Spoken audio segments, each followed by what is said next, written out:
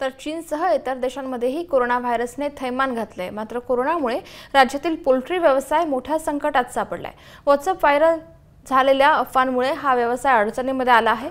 अहमदनगर जिल्ह्यामध्ये एका महिन्यामध्ये तब्बल सहाशे कोटींचा फटका बसल्याचं पोल्ट्री व्यावसायिक सांगतायत. अनेक शेतकऱ्यांनी बँकांकडून कर्ज घेऊन शेड उभारले पिल्लं वाढवली. मात्र कोरोनाची एक चुकीची पोस्ट व्हायरल झाल्याने शेतकऱ्यांचं आयुष्य उद्ध्वस्त झालंय. त्यातच शासनाकडून अनेक ठिकाणी पोल्ट्री व्यावसायिकांकडून अवाजवी कर आकारला जात असल्याने संतप्त झालेल्या पोल्ट्री व्यावसायिकांनी अहमदनगर जिल्हाधिकारी कार्यालयावर धडक दिली आणि आपल्या विविध मागण्यांचं निवेदन जिल्हाधिकाऱ्यांना दिलं. पोल्ट्री व्यावसायिकांना न्याय न मिळाल्यास तीव्र आंदोलनाचा इशारा पोल्ट्री व्यावसायिकांनी दिलाय.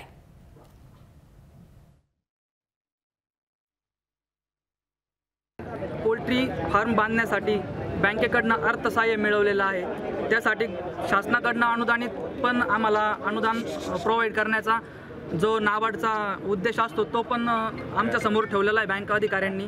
परंतु आम्हाला कुठल्याही प्रकारचं नाबार्डचं अनुदान पण अद्यापर्यंत मिळालेलं नाही आहे ज्या कोणी नवीन शेतकऱ्यांनी पोल्ट्री फार्म बांधलेले आहेत त्यांनी बँकेकडून कर्ज जे घेतलेलं आहे त्या कर्जासंदर्भात जे पंचवीस टक्के तीस टक्के अनुदानाची सवलत नाबाडकून असते ती आम्हाला मिळालेली नाही आहे तर आमच्याकडे किमान वेतन कायद्याखाली जो स्वतंत्र उद्योग न समजता शेती समजण्यात यावा. पोल्ट्री व्यवसाय हा स्वतंत्र उद्योग न समजता शेती समजण्यात यावा.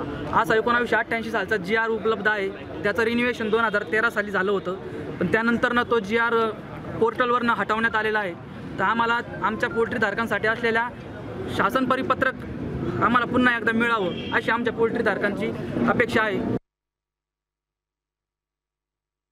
जर कोंबडी बनवायला लागली तर एक किलो मागे सत्तर रुपयाचा खर्च येतोय एका फार्मरला तर आजचा रेट जो आता सर्वसाधारण प पूर्वीचा रेट सत्तर पंच्याहत्तर रुपये कंपनीचा रेट चालू असायचा.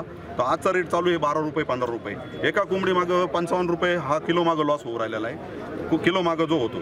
तर सर सर सर्वसाधारण एका कोंबडी मागं एकशे दहा ते एकशे वीस रुपयाचा लॉस तयार होतो दोन किलोच्या नगामागे. आणि आता साईज तर कंपनीने माल उचलला नाही आहे मार्केट नसल्यामुळं साईज चार किलोपर्यंत गेलेले आहे. अत्यंत अडचणीमध्ये हा नगर जिल्ह्यातला पोल्ट्री व्यवसाय आलेला आहे. अनेक लोकांनी मोठमोठे लोन घेऊन हा व्यवसाय केलेला आहे. आणि एक उपासमारीची वेळ ही या पोल्ट्री धारकावरती आता आलेली आहे. कॉन्ट्रॅक्ट फार्मिंगमध्ये अनेक शेतकरी या अहमदनगर जिल्ह्यातले आहेत. परंतु असं असताना कंपन्यांकडनं गेल्या मागच्या आठ दहा दिवसापासून कुठलाही खाद्याचा पुरवठा त्या पक्ष्यांना केला जात नाही. पक्ष्यांची देखील उपासमारी होती. आणि एक सगळंच आर्थिक संकट या पोल्ट्री उत्पादक शेतकऱ्यांवरती आणि अंडे उत्पादन करणाऱ्या शेतकऱ्यांवरती ओढवलेलं आहे.